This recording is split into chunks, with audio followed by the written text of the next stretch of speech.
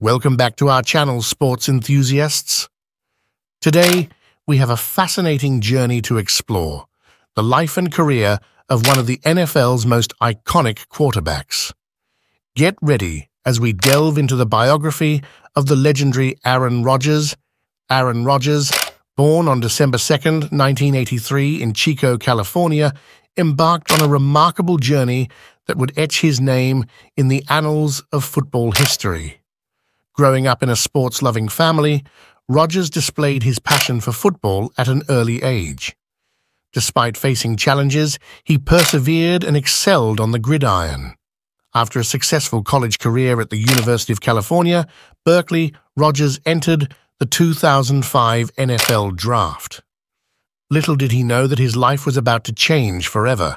Selected 24th overall by the Green Bay Packers, Rodgers faced the daunting task of succeeding a football icon, Brett Favre.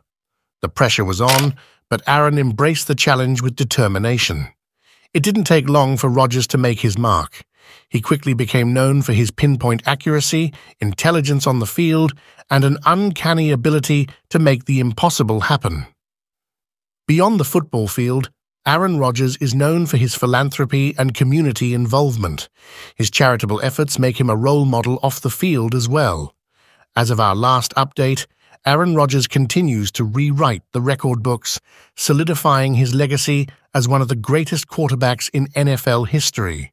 And there you have it, the incredible journey of Aaron Rodgers, from a small-town kid with big dreams to a football icon.